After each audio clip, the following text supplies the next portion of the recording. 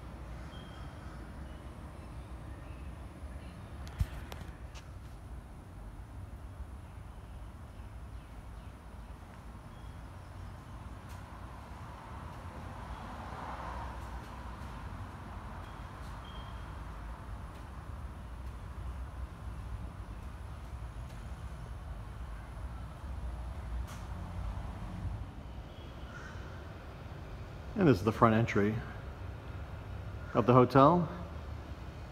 And we're going to go see if we could take a uh, glimpse inside this uh, historic hotel. We're taking a little glimpse into the front lobby of the hotel. And it's abandoned at this time. It looks like it might be used for special events.